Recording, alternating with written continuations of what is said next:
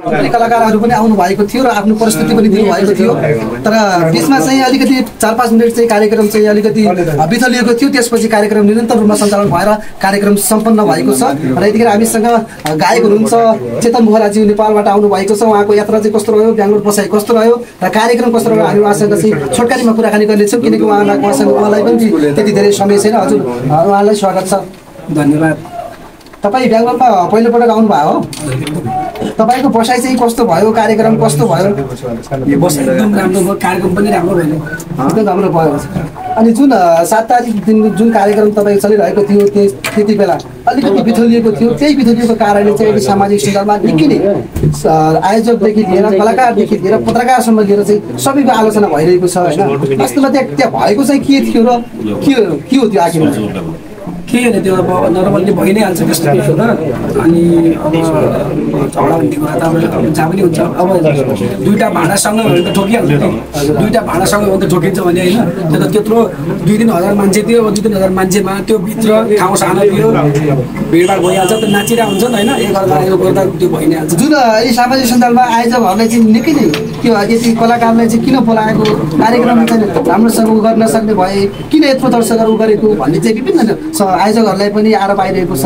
तपाईँ के भन्न चाहनुहुन्छ तिनीहरूलाई? उहाँहरूलाई चाहिँ म के भन्न चाहन्छु भने हिमालयन युवा समितिले जसरी कार्य- कार्यक्रम आयोजना गर्नुभएको छ नि त्यसरी तपाईँहरूले एक- एकपटक आयोजना गर्नुहोस् अनि तपाईँकोमा चाहिँ झगडा भएन भने चाहिँ अनि मलाई गाली दिनु यो यो बेङ्गलोर हो यो बेङ्गलोरमा चाहिँ योभन्दा पहिला पनि अलिअलि चाहिँ लपडाल भएकै कुरा हो। धेरै, धेरै। योभन्दा पछि जुन बेङ्गलोरमा अबको दिनदेखि जुन तपाईँ आउनुभयो या तपाईँ यहाँको वास्तविकता बुझ्नु भयो नि त योभन्दा पहिला त सुन्नुभयो होला तपाईँले देख्नुभयो होला भिडियो। तर वास्तवमा अहिले तपाईँ आउँदाखेरि चाहिँ यस्तो हुँदाखेरि तपाईँलाई चाहिँ कस्तो महसुस भयो त? मलाई चाहिँ के लाग्यो भने अब पहिला हामी एक महिना अगाडिदेखि नै आउने कुरा थियो नि त। अनि मैले मेरो पनि स्टाटसहरूमा भिडियोहरूमा कि मान्छेले नजानुहोस् त्यहाँ। त्यहाँ त खतरा फाइट हुन्छ यताउता त्यहाँ नजानुहोस् भन्दै तपाईँलाई चाहिँ पहिलेदेखि डराइरहेको थियो। चाहिँ म सागर चाहिँ ल्याउने हो सागर चाहिँ के हो यार? अलि त्यहाँ सुरक्षा अलि राम्रो बनाउनुहोस् है अलि खटाउनुहोस् मान्छेहरू। त्यो पहिलाका कार्यक्रमको जस्तै नहोस् त्यहाँ मैले धेरै सुनेको छु। अब अरू कलाकारहरू दाईहरू आउँदाखेरि दिदीहरू आउँदाखेरि पनि धेरै व्यस्त भएको कुरा आएकै हो मिडियाहरूमा होइन? त्यस्तो नहोस् है भनेको। अब ए भुन्न हुन्न भन्नुभएको थियो अब जोस् पहिलाभन्दा अरू कार्यक्रमभन्दा सुरक्षा उहाँले बढी नै दिनुभएको थियो क्या त्यो भए पनि जोस् मान्छे अरू कार्यक्रमभन्दा एकदम धेरै मान्छे आएको कारणले गर्दा पनि अब त्यो माच कन्ट्रोल भएन। अलिकति चाहिँ भित्र त्यसपछि चाहिँ तपाईँले आफ्नो प्रस्तुति दिनुभयो। तपाईँलाई चाहिँ धेरै माया पाइयो तपाईँले। एकदम- एकदम तपाईँले। माया पाउनुभयो बेङ्गलोरमा आएर? अति नै। धेरै पाउनुभयो है। ल तपाईँको पनि समय छैन। तपाईँ नेपाल फर्किँदै हुनुहुन्छ भन्ने पनि हामीलाई जानकारी आएको छ। तपाईँ कहिले फर्किँदै हुनुहुन्छ? हामी आज नै हस् तपाईँको शुभ यात्रा होस् थ्याङ्क यू सो मच पवनजी थ्याङ्क यू बाँकी चाहिँ भेट्दै गरौँला हामीहरू। प्रकाश सिंह हुनुहुन्छ उहाँ चाहिँ भर्ख- भर्खरै मात्रै सामाजिक सञ्जालमा निकै आफ्नो छुट्टै पहिचान बनाउन सफल हुनुभएको गायिका पनि हो। यहाँलाई स्वागत छ। धन्यवाद छ हजुरलाई तपाईँको यात्रा पनि बेङ्गलोरमा पहिलोपटक नै होला। कार्यक्रम कस्तो भयो त? यहाँको माहौल कस्तो भयो? भाइरल सामाजिक सञ्जालमा त अरे यस्तो भयो बिथलियो बिथलियो भन्ने कुराहरू चाहिँ अलिक टिका टिकटहरू आइरहेका छन्। हामीले चाहिँ आउने जति बेला हाम्रो यो कार्यक्रम फिक्स भयो नि। त्यति बेलादेखि चाहिँ दाइले र मैले एकदमै प्रचार प्रसार गरेका थियौँ होइन? स्टाटसहरू पनि हालेका थियौँ। त्यस कारण चाहिँ धेरैजना नेपालीहरू उपस्थित भइदिनु भयो दर्शकहरू धेरैजना उपस्थित हुँदाखेरि चाहिँ अब दुई चारजना रक्सी खाएर आउँछन् दुई चारजना हेर्ने न्युले आउँछन्। मनोरञ्जन लिनको लागि सबैजना आउनु भएको होइन। यति धेरै दर्शकहरू उपस्थित भइदिनु भयो त्यसको लागि चाहिँ सम्पूर्ण नेपालीहरूलाई चाहिँ एकदमै धन्यवाद दिन चाहन्छु। एकदमै खुसी छु। अब धेरैजना दर्शकहरू उपस्थित हुँदाखेरि चाहिँ धकाला पकाल यताउति भिडभाडमा चाहिँ सामान्य दुई चार मिनट सामान्य भएको हो। कार्यक्रम चाहिँ हामीले प्रस्तुति दिइसकेका छौँ। कार्यक्रम सफल भएको पनि छ होइन? दाइले र मैले चाहिँ चेतन र दाइले र मैले चाहिँ हाम्रो प्रस्तुतिहरू चाहिँ रिल्समा फेसबुकमा चाहिँ अपलोड पनि गरेका छौँ टिकटकतिर होइन? यहाँले हेरिराख्नु भएको छ। जुन सामाजिक सञ्जालमा तिनीहरूले चाहिँ प्रस्तुति दिन पाएनन् कार्यक्रमै भएन भन्नेहरू समिति एकदमै धेरैभन्दा धेरै अहिले त के छ भने समितिहरूले आरोपै आरोप आइरहेका छन्। होइन त्यस्तो चाहिँ होइन। हामीले चाहिँ प्रस्तुति राखेका छौँ। कार्यक्रम सफल पनि भएको छ होइन?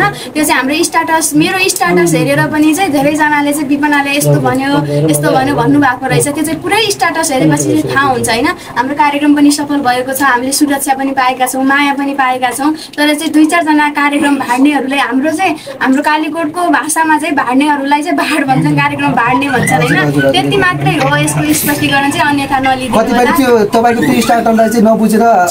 स्टार्टरलाई चाहिँ गरे हो। हजुर एकदमै। त्यो त्यही विषयलाई चाहिँ तपाईँले खण्डन गरिसक्नु मैले। सबैजनालाई होइन नि धेरैजनाले माया पनि गरिदिनु भएको छ मलाई। दुई चारजना कार्यक्रम भाड्नेहरूको लागि मात्रै। दारू खाएर आएर त्यहाँ कार्यक्रममा चाहिँ बिथोल्ने तरिकाले चाहिँ उपस्थित भएका थिए। कार्यक्रम बिथोले तिनीहरूलाई चाहिँ मात्रै विपना सिंहले चाहिँ भनेको हो। अनि यता सबै बेङ्गलोरमा बेङ्गलोरमा बस्ने सबैजनाले नेपाल यसमा यसलाई चाहिँ यो कुरालाई चाहिँ विभाजित गराउनु पर्ने चाहिँ कारणै छैन यो शब्दलाई होइन?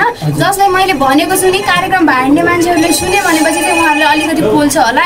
पोल्नु जरुरी पनि छ आवश्यक पनि छ। अर्काको देशमा आइसकेपछि चाहिँ आफूले कन्ट्रोल गर्नुपर्छ। होइन रिसहरू पनि धेरै कुराहरू कन्ट्रोल गर्ने पर्ने हुन्छ त्यस कारण चाहिँ कन्ट्रोल गर्नु होला। एकदमै आयोजक टिमप्रति अनि धेरैको अलिकति जिज्ञासा पनि छ विपनाले चाहिँ कहिलेदेखि गीत गाउन सुरु गरेको होला तपाईँले यो कलाकारको क्षेत्रमा चाहिँ कहिलेदेखि तपाईँको इन्ट्रेस्ट आयो म चाहिँ अहिले अठार वर्ष भएँ पन्ध्र वर्षदेखि चाहिँ मैले गीत गाउन अनि देउडा खेल्न चाहिँ सुरु गरेको हो होइन अनि म इन्द्रेणीमा आएर गएको चाहिँ मैले पाँच महिना जति भयो इन्द्रेणीमा गाएको पहिलो दोहोरी सबैजनाले एकदमै रुचाइदिनु भयो त्यसपछि त्यसपछि चाहिँ निरन्तर गाउँदै गएँ अहिलेसम्म साथ दिनु भएको छ माया गरिदिनु भएको छ अझै माया गरिदिनु होला भन्न चाहन्छु अब अन्तिममा ठिक तपाईँ चाहिँ आज जाँदै हुनुहुन्छ तपाईँको यात्रा शुभ रहोस्। अन्तिम आयोजक टिमलाई के भन्न चाहनुहुन्छ? आयोजक टिमलाई एकदमै धन्यवाद दिन चाहन्छु। एकदमै माया गर्नुभयो। ज पहिला नेपालमा हुँदाखेरि चाहिँ हाम्रो स्ट्याटस देखेर जतिजनाले मेसेज गर्नुहुन्थ्यो यताउति राम्रो छैन यताउति हरेक कुराहरू त्यस्तो चाहिँ रहेन सा। यद्यपि देख्दाखेरि चाहिँ होइन म पनि एउटा नेपालको छोरी चेली हो इज्जत हो। मलाई पनि आफ्नो इज्जतको चाहिँ एकदमै पर्व हुन्छ। तर यहाँ आएर चाहिँ एकदमै सम्मान गरिदिनु भयो माया गरिदिनु भयो शुभेच्छा गरिदिनु भयो खाना बस्नदेखि लिएर हरेक कुरा हाम्रो सागर दाई हुनुहुन्छ उपाध्यक्ष अध्यक्ष यो कार्यक्रमसँग जोडिनुभएका सम्पूर्णलाई चाहिँ एकदमै धन्यवाद दिन चाहन्छु। म चाहिँ एकदमै खुसी छु भन्न यहाँ यतिखेर हामीसँग चाहिँ हिमालयन समितिका चाहिँ आयोजक टिमका अध्यक्षज्यू हुनुहुन्छ। अध्यक्षज्यू यहाँलाई स्वागत छ। अनि अहिले तपाईँको यो कार्यक्रम हिजो दुई मिनट मात्र थियो। अहिले सामाजिक सञ्जालमा धेरैले आयोजकपछि चाहिँ गुनासो गरिरहेका छन् विभिन्न विभाजित गरिरहेका छन्। तिनीहरूलाई चाहिँ के भन्न चाहन्छ? के साँच्चै कार्यक्रममा चाहिँ पनि भएको र बिजुलीले चुप वित्त भएको र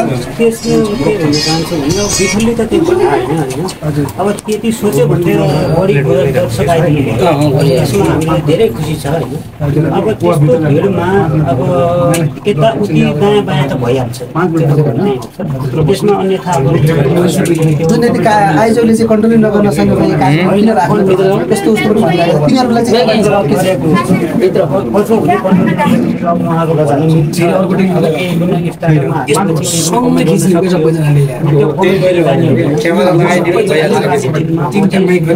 लाइन यस्तो टाइम वेस्ट भएको तपाईँको यो पहिलो अनुभव हो। मलाई धन्यवाद दिन विशेष मैले त त्यस्तो केही देखेँ भनेपछि त्यस्तो त्यो सामान्य हरेक कार्यक्रम छ त्यत्रो पब्लिक छ। त्यो त अब सामान्य होइन त्यसमा अन्यथा दिनु पर्दैन।